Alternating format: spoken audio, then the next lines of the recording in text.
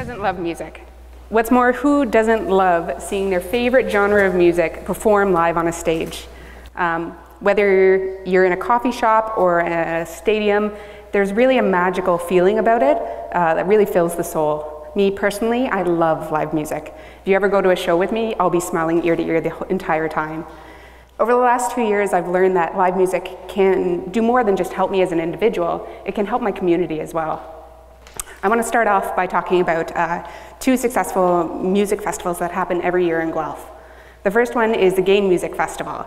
GAIN actually stands for the Guelph and Area Independent and New Music. Uh, they book uh, shows year-round in Guelph, uh, putting local bands in local venues. And once a year, they have a huge festival that fills all three floors of Van Gogh's Ear. Uh, there's between 10 and 15 bands for an awesome night of live music. If you haven't gone, I really recommend it.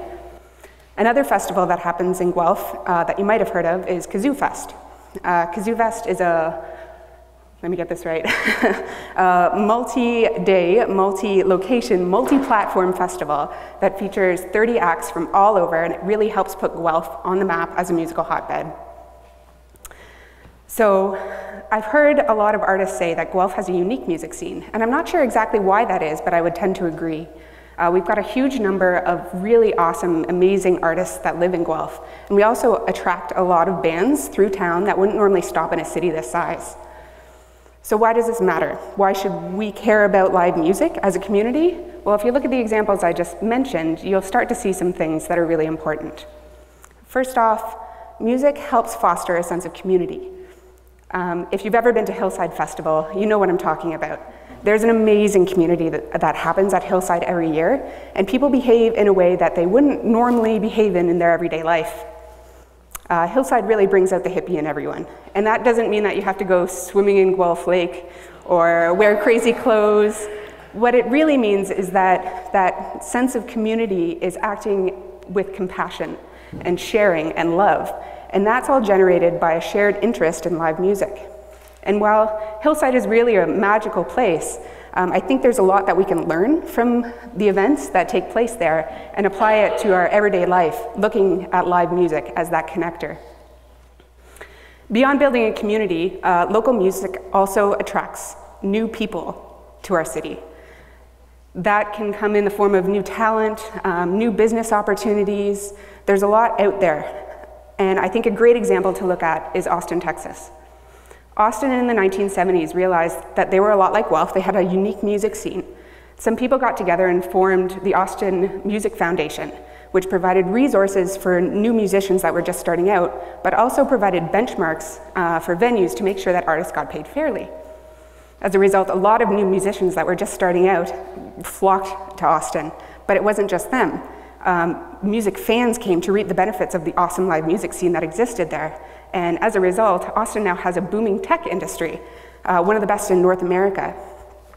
So what can we learn from this? What can Guelph, can Guelph take a page from Austin's book? I think so. Um, we're already seen as a very forward-thinking community, which is awesome. Um, what if we applied some of the same principles and boosted more industry and innovation in our town as well? More than anything else, though, music just makes you happy. If you ever go out to a live show, you're hanging out with your friends, you're having a lot of fun. And when you have a lot of people that are happy in a community, it makes for a really productive community. A great example of how music can make you happy um, happened this summer. Ian Findlay, uh, city councilor, put a piano out in front of his uh, office on Baker Street and encouraged people to stop and play. Uh, soon after, a call went out for more pianos, and there was eight different pianos uh, down located downtown Guelph where anyone could just stop and play. It was called the Making Happy, Making Happy campaign. Was a huge success. Um, people were just stopping and playing, and there was groups of people. You could hear people singing at like all hours of the day. It was really awesome. I think it's a great example of showing how um, music can inspire people and build a strengthening community by making people happy.